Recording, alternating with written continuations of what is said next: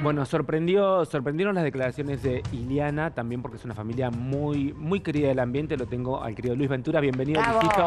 Bienvenido, Luis.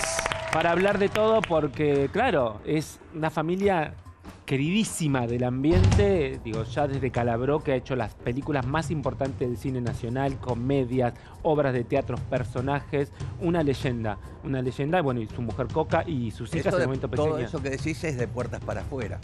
Claro, tal cual. Las familias son de puertas para, Para adentro. Ah, ¿Y qué pasaban en Y en las puertas? familias todos tenemos internas familiares, Sí. simpatías, antipatías, Enojos. broncas, temperamentos, política, ideología, gustos, Mm. este, tendencias. eh, ¿Por qué crees que Iliana hizo lo que hizo el Y- sábado? Mira, lo que pasa con Iliana y con Marina me pasa a mí, por ejemplo, con mi hermano, con mis hermanos, el fallecido también. Nosotros cuando nos juntábamos en fiestas como las Navidades, Mm. la- la- las tenidas en la mesa era por eh, fútbol o por política o porque dijiste esto tal día y por qué eh, Sí. fuiste a tal nota y entonces entran los planteos. Mira, eh, cuando uno opina del otro, Mm. este, es una cosa. Ahora, cuando querés aplicar el mismo criterio para tu proceder, Mm. no sé si aplicás el mismo, el mismo criterio. Yo me cansé, yo tengo 40 años o más de periodismo escuchando todo lo que hago mal. Es decir, vivo, vivo escuchando, ¿por qué no hiciste esto? ¿Por qué no le preguntaste aquello? ¿Por qué titulaste así? ¿Por qué?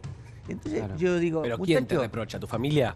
El afuera. Ah, ala, El afuera, el Martín Fierro, si, eh, si me cambio, si no me cambio, si tengo la camisa arrugada, si me peiné, si no me peiné, si me quiero poner un, Sí. un sorulo en la cabeza.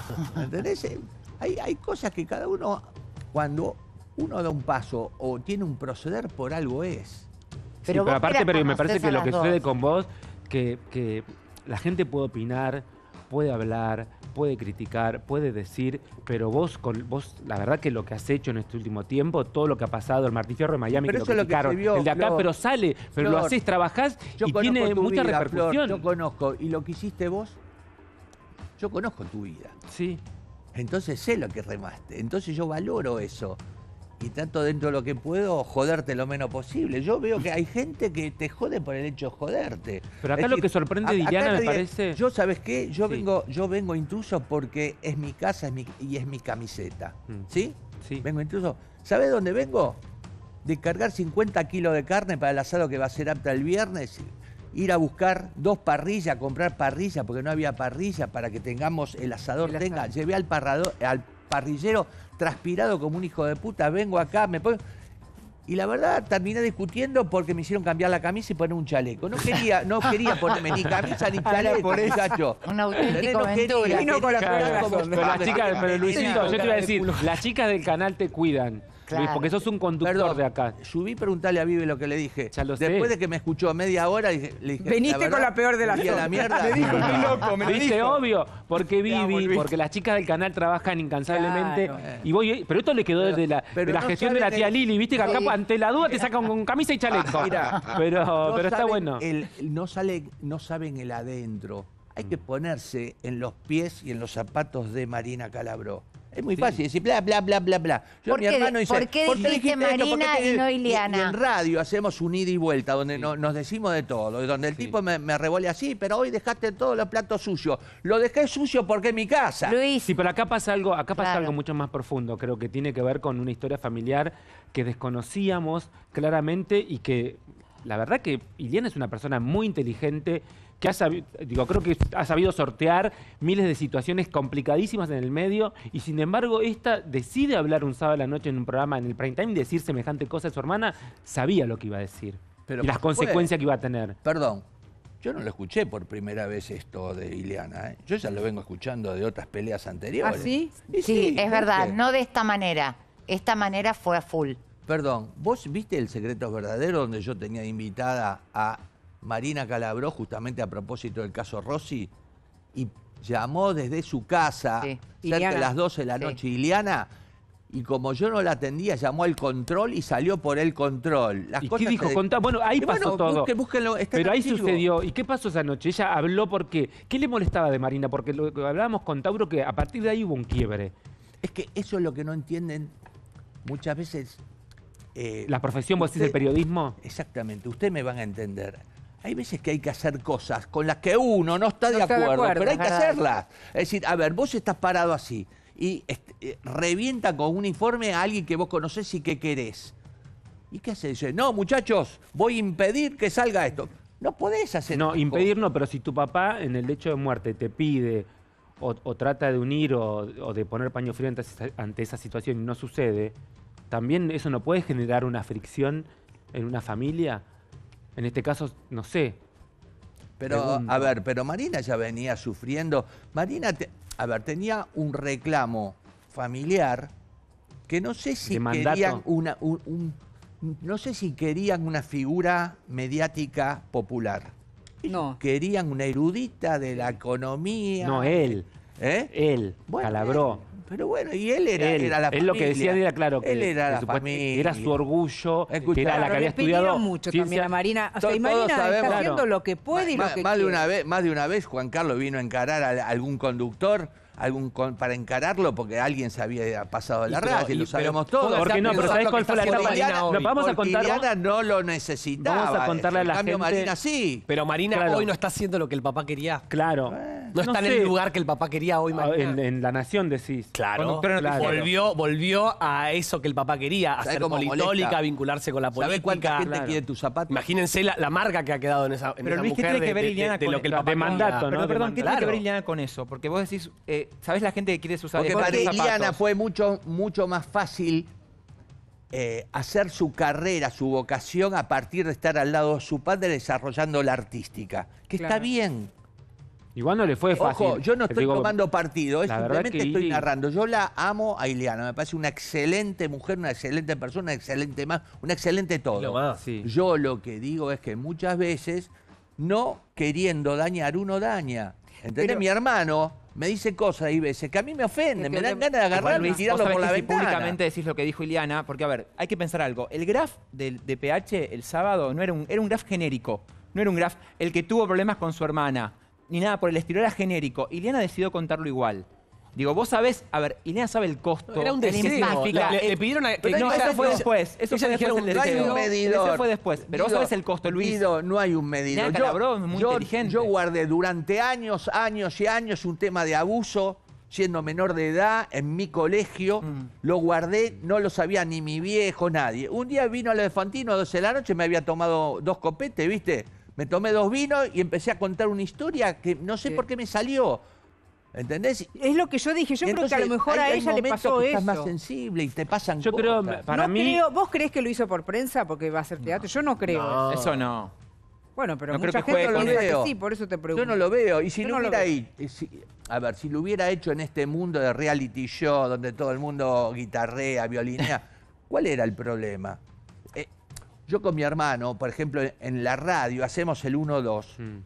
Sí. Hacemos el 1-2. Y muchas Sí. veces eh, en el 1-2, sabiendo que los dos estamos jugando, muchas veces nos pasamos a la raya y el otro sabe que te devuelve una más arriba de, eh, eh, de- Claro. del cinturón. Pero ¿no te parece un poco fuerte que Coca, que ayer dio una nota en a la tarde, diga, eh, Ileana es única e irrepetible? ¿No va en desmedro de su otra hija decir ¿No dijo la verdad?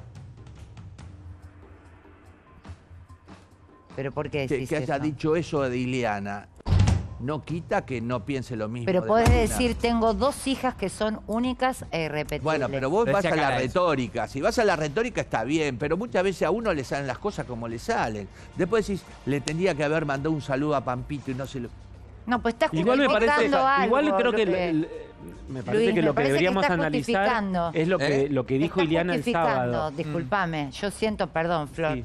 Siento que estás justificando y poniendo, o capaz estás queriendo poner paños fríos, porque entiendo del sufrimiento de Marina, entiendo que le fue más fácil a Ileana porque se dedicó a algo más parecido a lo del padre, pero los padres tenemos la responsabilidad de no hacer diferencias con los Pero le hijos. estás pidiendo a Coca No, algo que no, puede no, dar en estos momentos, no. eh, Cari. No, está bien, que pero hacer diferencia. Coca es inteligente, pero podría Coca no está haber para dicho hacer nada. notas, Pero lo dijo porque dijo, Cala decía eso. Demos gracias está a Dios mal. que dijo eso. Cala, Cala decía que Iliana es única y irrepetible. Y le preguntan por Marina, Marina también lo es. A ver, Coca, yo enti- entiendo por lo que vi en la nota que la vi entera, es como que puno- puso pas- paño frío. Eso pasa en toda la familia. Yo, te, yo yo. te cuento con mi hermano lo que pasaba. Eh, nosotros somos hijos eh, de, de familias de 22, 22 hermanos que tenían entre mi papá y mi mamá. Imagínate la familia que tenemos de sobrinos, Sí. ahijados. Es interminable.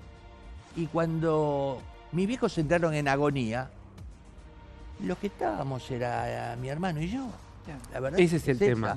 Entonces, yo laburaba más y él laburaba menos. Al laburar menos, él tenía más compromiso con el viejo. Y entonces mi viejo, muchas veces, que venga el flaco, decía. Y a mí no me daba celo para nada. Y si tenía que ponderar algo, él decía, porque el flaco me afeita a la mañana. Y está bien. ¿Sabes lo que pasa, Luis? Eh, diste eh, en el clavo. Creo que hay algo que, que le sucede a los seres humanos en general que tiene que ver con las, las enfermedades en las familias enferman a todos. Sí. ¿sí? No solamente a la persona que No. está transitando. Y No solo que enferman, también definen características de las personalidades. claro, pe- en las bravas a es eso donde iba. vos no, ves pero, pero también, los tipos que vas a tener al lado cuando a vos te vaya mal. pero también sabes lo que sucede a veces, Eh, me parece que, que hay gente que no sabe, no sabe qué hacer. ¿No? Hay gente que, digo, así como hay gente que, por ejemplo, lo que le pasó con Cala, que Iliana estuvo como muy cerca de, ese- de esa situación, hay gente que se abatata. Claro. Se abatata ante la muerte, Total. se abatata Yo creo ante que estas Marina cosas. es una personalidad así, para mí. Tengo las- Marina, por eso digo, porque me parece que una- a no sé veces si uno se critica- abatata, la, la- Son más. Claro. El no, dolor no sé si negadora. No, No, no- puede asumirlo. No conecta no con puede- eso, con el dolor. Porque le pasa mal. mucha, a mucha gente, lo he vivido, porque mucha gente me dice, ay, ¿por qué no se pronuncia ante la muerte? ¿Por qué no hacen tal cosa? Porque a cada uno, a cada ser humano le pega totalmente diferente. Hay algo que pasaba, me acuerdo, en esa época, porque, porque la verdad que tenemos muchos amigos en común. Cuando al británico, me acuerdo patente que lo llevaba eh, Linda Pérez, la llevaba a Coca a verlo a Calabro en ese momento. Estaban entre Coca, estaba eh, Iliana, estaba Olguita Coria también, que, que la llevaban. Entonces, eh, me parece que en ese momento eh, es lo que, lo que le criticaba, lo que decía en un momento en una nota. Eh, Iliana hablaba de, la lejanía o que no estuvo tan cerca de la familia, pero me parece que lo, si nosotros nos detenemos a escuchar lo que decía en esta, en esta entrevista, eh, Iliana Calabro, ella habla de, de algo, de un deseo. Porque ella dice, después de todo lo que sucedió y lo que ha pasado, yo quiero, dice, me gustaría hablar con mi hermana. Porque la familia es lo más importante. O sea, tratando de dejar atrás, de dejar atrás todo, todo lo que había haya hablado a la tarde, eso es lo raro. A las 3 de la tarde Claro, han hablado, claro. ese sábado, organizando el cumpleaños. No, porque esto no fue sábado, esto, Claro, esto fue, fue jueves. Esto fue jueves. Por eso es lo que le duele a es lo que le duele a Marina. Avisar. Que no lo haya Habló dicho. a las 3 de la tarde y nunca le dijo, Claro, a las es una 9 de la noche va a salir un programa donde yo hablo de vos, preparándola. Marina se entera todo esto Al aire. al estando en el casamiento de Babi con rodeada de No, periodistas. aparte, eh, me decía Marina, yo hablé con Marina, me decía que, que, que es mentira que no tienen vínculo. ¿Sí? Que están en contacto todo el tiempo. Y de hecho Ileana también lo dice en, en- en la entrevista, que eh, Ileana fue la persona que le recomendó al psicólogo, porque Marina no está bien, no pasó un año bueno. Sí. La verdad que eh, está con un año difícil, Sí, también un le año pasó de con, todo, ¿no? con mucha tristeza, con no quiero usar la palabra depresión, eh, Pero está pero, así. pero sí, Está pero frágil. cerca. Cada vez que hablas llora. Eh, está, no está pasando un lindo momento, está por cumplir 50 años, eh, Está ¿viste? como una crisis. Está como, se separó. Se separó. Pero no tuvo que ver con la Entonces, separación para sabés mí. que me decía, me no sé si hago bien en Pero lo- a veces los A ver. cambios, los cambios de década la gente le hace no hacer balance. Claro, por eso. Se hace No indirectamente hago bien dice, en- no me gusta hacer No balance, pero consideramos los años. La aparición del pánico en las personalidades de esta sociedad que te come y muerde los talones todo el tiempo. Bueno, la, la pandemia, chicos, ahora ya no hablamos, pero sí, bueno. digo, para Sí, mí sí, lo hondo. que queda. Bueno, y no sé si hago bien en contar esto, no, no es nada tan grave, así que no, no creo que se ofenda a Marina, pero me contaba también Marina que había estado hablando con, con Mía. eh, y que Mía, desde su lugar, mirá qué madura que es eh, Mía y tiene que estar orgullosa Marina por la hija que tiene, le decía, a vos mamá te duele esto también porque estás pasando un momento delicado. Mirá lo que le decía la hija. Dice, porque a lo mejor si Ileana decía esto en otro momento, no te dolería duele. tanto. Exacto. Y ahora, como vos estás muy sensible, eso le decía a la hija. Mía, tenemos Mía. que decir, también eh, muy con pinche Ileana. Muy, la se adoran. Muy, porque la llevaba, yo me acuerdo de veranos, muchos veranos que iba a Carlos Paz y La que llevaba. la llevaba porque le gustaba todo esto de, los looks de ella, la Sí. billutería, porque Mía es totalmente distinta, Sí. es más parecida a Ileana según lo que contaba Sí. Ileana, pero bueno, tiene que ver con esto. La verdad que sorprende, yo veo una hermana que está pidiendo ayuda, ¿no? Que pide y que se está diciendo a la otra hermana, digo, Sí, la familia, también- dice la familia es lo más importante. Pero también hay algo, hay algo que también tenemos que asumir lo que estamos adentro de los zapatos de un periodista. sí. Eh, es una profesión incómoda, es Sí. una profesión sin horarios. Egoísta. Yo me crié con Héctor Ricardo García y con Jacobson diciéndome, el periodista no tiene reloj. Bueno, vos sabés entrás, Sí. vos sabés cuándo entrás y no sabés cuándo salís. Y no siempre... Y más en un año político como fue este también, donde seguramente. Digo, no hablar, lo que te hablar de toca, cosas... Florencia, lo que te no es lo mismo que hablar en infama de, de la farándula. Esto es otra cosa, digo, hay que No, estar con todas las luces. Pero mira, te voy a yo decir una creo- cosa, y así ¿No? todo, Marina eh, el- el- el- se toma con el mismo compromiso hacer espectáculo Sí, que que hacer política. política. No para. Marina Igual habla creo- hasta No, pero digo, pero igual pero para mí digo que no es para lo mismo. chequear, digo, Sí, sí, no, no, no es la misma, eh, a ver, la misma responsabilidad, Claro. pero ella se lo toma con la misma Sí, y responsabilidad. aparte, y Luis me va a dar la razón, me parece, hay un peso sobre Marina que no hay sobre Ileana en la profesión. Porque ¿Cuál? Marina, que es politóloga y creo que tiene otra carrera más, me parece que siempre hay una cosa de, de exigencia sobre ella, como que tiene que hacer todo bien. Sin embargo, Sí. sobre Ileana, que es, no sé, Totalmente. vedette, actriz, que lo hace excelente, lo que Totalmente. hace, no está la misma mirada que sobre Marina. A ver, ella crece con el reclamo a Mirta Legrand porque se sentaba este, en, en- en- en- frente al micrófono a contar cosas, ponerle de Mirta, que era amiga de la familia, entonces Mirta lo llamaba a Juan Carlos Y Juan Carlos y Juan Carlos venía, ¿qué le fue? lo- ¿Entendés? Eso, digo Mirta por lo Sí, emblemático, por lo simbólico. Claro. Porque la misma manera Pero nosotros, Mirta- pero nosotros, eh, digo, ¿se acuerdan que vino acá? ¿Con quién hablamos nosotros? Con Marina, que habló después Mirta, que la invitó a la mesa después de tanto sí, tiempo. que se reconcilió. Sí. Claro, por eso, no- pero ¿cuándo fue eso? ¿Fue el año pasado? El año pasado cuando volvió Mirta. Claro. De- Pero por porque había una amistad que vos decís, está el periodista, pero también está la persona. Yo escribía la, la contratapa de Crónica, que eran 35 chimentos Sí. por día en la quinta y sexta edición. Claro. Había que meter 35 chimentos todos los días, todos los días. Y los enojos, 35 enojos diarios. Y yo laburaba con mi papá. Mi viejo laburaba en el quinto piso y yo en el octavo. Yo era Flash y la contratapa de Crónica con los chimentos, mi viejo era el diario Crónica. Mm. Le tenías que pegar así a Florencia de la B, que es mi amiga. Que... Y yo, bueno, viejo, Claro, sabés era